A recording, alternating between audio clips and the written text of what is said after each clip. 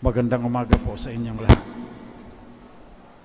Sa simula pa lang ng banal na misa, pinahayag na patungkol sa mga kabataan itong ating pagdiriwang.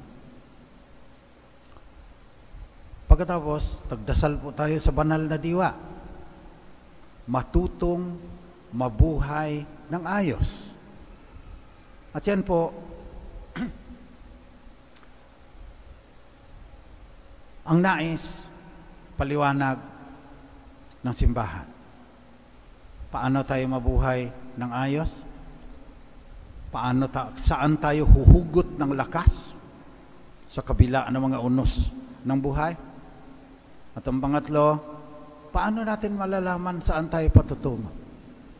Do you know where you're going to? Kaya, sa simbang gabi, madilim ang simbahan. Biglang pag nag Gloria in excelsis Deo, papuri sa Diyos sa kaitaasan, magliliwanag po yan. Malalim ang nais sabihin ng simbahan sa simbolismo na yan. Hindi lang sa salita sinasabi na si Jesus ang liwanag. Sa Ebanghelyo po ngayon, sinabi ni Jesus na si Juan Bautista ay parang maningas na ilaw na nagliliwanag noon. Ngunit, sandali lang kayong nasihan sa kanyang liwanag. Si Jesus, kahapon,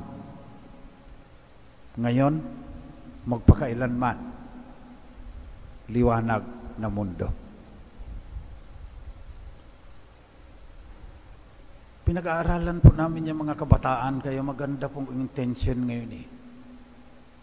Yung millennials, tsaka Generation Z ang tawag ngayon. Yung mga teenagers at saka yung mga young adults. Nagsusurvey. Ano bang pinapahalagahan ng mga kabataan ngayon? Ang resulta, wala masyado. Maraming mga kabataan ngayon, ayon sa survey, hindi lang sa Pilipinas, libo-libong mga kabataan, alam mo naman yung mga nagsasurvey, may coefficient of correlation yan, Pearson sa saka tao, para malaman talaga kung ano ang mga facts, mga data.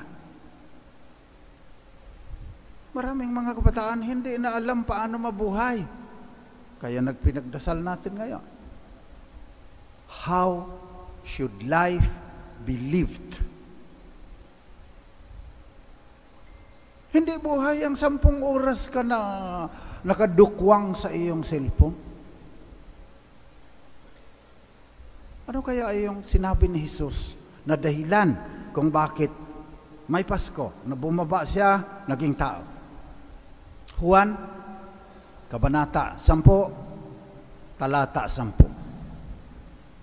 Naparito ako upang magkaroon sila ng ganap na buhay.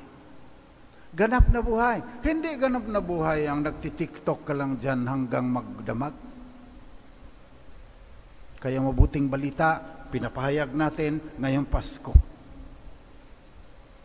Ex Oriente Lux. Mula sa silangan, nanggagaling ang liwanag. Noon pa yun, hindi pa pinanganak si Kristo. Sinasabi na ng mga Griego, hindi propeta ng Old Testament. Yung mga Griego, mga Latin, nagsasabi, ex oriente lux. Lux, liwanag. Si Juan, panandalian lang na liwanag. Si Jesus, liwanag magpakailanman.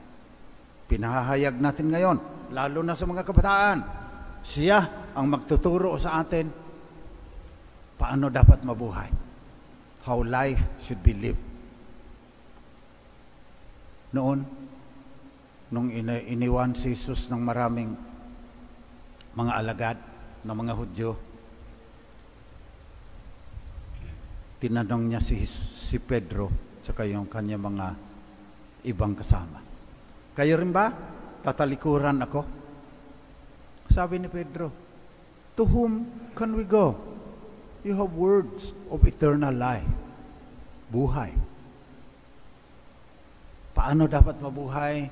Isa sa pinaka masalimuot na tanong sa buhay ng tao. Nababagabag siya, marami siyang suliranin. Saan huhugot ng lakas? Into its life, some rain must fall. Sabi ng Makata. Eh sa Pilipino, laging unos ang darating, hindi lang inaambunan, hindi lang inuulanan, unos ang dumadating sa buhay ng tao. Kailangan may mapaghugutan ng lakas para mapagtagumpayan ang mga suliranin ng buhay. Pagkatapos nakikita din ng tao na parang paglalakbay ang buhay. Last year, 12 years old ka, sa 2023, 13 years old ka na. Padami ng padami yung tao, taon sa buhay mo. Saan papunta yan? Saan papunta itong universe? Saan papunta yung mga galaxy? Saan papunta yung mga planets at saka mga bituin? Nagtatanong ang tao diyan. At kadalasan, tinatakasan. They are distracted by the things of this world. Kaya madilim. Gaya ng simbahan natin, pagsimula ng misa, madilim. Tapos biglang, Gloria in excelsis Deo, liliwanag ang buong simbahan sa gisag na si Jesus ang liwanag ng ating puso magpakailanman. So ipanalangin natin yung mga kabataan ngayon. Na matuto sila sana kung paano dapat mabuhay. Panalangin natin ang mga kabataan ngayon na magkaroon sana sila na mapaghugutan ng lakas kapag binabash na sila sa social media. Panalangin natin ang mga kabataan ngayon na matuto sila kung saan patutungo sa kinabukasan at ano ang tungkulin nila. To build a better world. Nanganganib ngayon ang sangkatauhan, the whole human race. Lahat ng tao ngayon, sabi ni Pope Francis, nanganganib na malilipol kagaya ng mga dinosaur. Bakit? Maraming mga tao hindi alam kung ano ang tungkulin ni dito sa mundo. Sinisira ang kalikasan, nagtatapon ng basura kung saan-saan, hindi pinipigil yung pollution. Pag sinabi mo na si Jesus, Emmanuel, pag sinabi mo na si Jesus, God with us, ang Diyos suma sa atin, napakabalad mo. Pero may tungkulin ka. Sundan siya. He who follows me walks not in darkness. Pag nagliwanag na, alam mo na, tungkulin mo sa Diyos, ang tungkulin mo sa iyong sarili, tungkulin mo sa ibang mga tao, kapwa mo, tungkulin mo sa kalikasan, kay inang daigdig. Build a better world, yan ang utos sa atin ng Panginoon. Isasalamin mo yung kaharian na kanyang pinamansag sa isang madilim na paligid. Mag-iisang taon na ang giyera sa Ukraine. Ang dami ng mga taong namatay. Isang daang libo na at ang mga sundalo ng Russia ang namatay doon dahil iba na ang labanan ngayon eh. Hindi mo na alam, mayroong drone sa itaas pagkatapos maghuhulog na lang ng bomba. Nababasa ng mga bata yan. Kaya rin sila ngayon naguguluhan. Lahat nakikita mo na ngayon eh. Kung anong nangyayari doon sa pinakamaliit na bansa, kahit mga walang katuturan na balita, na masama naman, nakikita ng mga bata, hindi sila nabibigyan ng katiwasayan ng kalooban.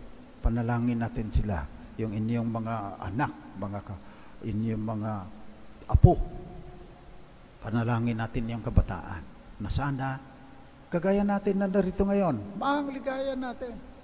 Maraming kabataan hindi nakakaranas ng kaligayahan natin dahil tayo may pananampalataya. Nakakaawa naman. Batang-bata pa, nag-iisip na, tatapusin ko na lahat kaya ito. 7.5% of Filipino young people have thoughts of ending their lives. Ilan yan? 7.5%. Sabi ng UP, Population Studies, 1.5 million na kabataan have thoughts of suicide. Hindi pa tayo naaawa siya? Batang-bata pa. Hindi alam kung anong gagawin sa buhay. Batang-bata pa, hindi alam kung saan huhugot ng lakas kapag dumadating na ang unos. Eh, dumadating naman talaga sa bawat buhay ang unos. Hindi pa tayo naaawa sa mga kabataan na hindi alam kung anong gagawin sa kinabukasan? Nung panahon pa namin, elementary ka pa lang. Teacher ko, engineer ako, papaaralin ko yung aking mga kapatid. Susundan ko si tatay, mag-aararo sa bukid. Walang ganitong emotional distress, walang ganitong mental health problem. Pinag-aaralan ko po yan dahil binigyan po ako ng grant ng DepEd para gumawa ng modules on social and emotional learning. Kailangan turuan mo na ngayon ng mga bata how to control their emotions, how to be aware of themselves. Hindi nila alam. Nadadala ng kanilang bugso ng damdamin. Hindi eh, nadidisiplina ang sarili. Bawat emotion, pinagbibigyan self-awareness, self-regulation, social awareness, social responsibility, responsible decision-making. 20 modules po yan. Ginagawa po namin yan na may animation, ginagawa po namin yan na may virtual reality, yung ganyan. Pagdasal po ninyo yan na maraming mga bata ang makikinabang dyan sapagkat sila ngayon ang pinatatungkulan nitong simbang gabi maawa tayo sa kanila. Kasi minsan nakakainis din yan sila eh. Ang galing-galing pa naman yan sa yung ganyan. Pa, paaralin ko ng, hindi marunong bumasa ng English pag si libro. Pero sabihin, sabihin ko, may course doon ng data analytics, cyber security, IT administration, galing sa IBM. May partnership po kami. Ah, ang galing ng mga bata. May badges, may certificates. Hindi marunong bumasa. Kulela tayo sa reading comprehension. Kaya mahalin natin po yung mga bata, pahalagahan natin yung kanilang kinabukasan. Panalangin natin na magtagumpay tayo na ipahayag sa kanila na si Kristo ang liwanag ng mundo. Si Kristo ang magtuturo sa atin paano dapat mabuhay si Kristo na isinilang sa Bethlehem, magtuturo ang magbibigay sa atin ng lakas sa gitna ng unos ng buhay.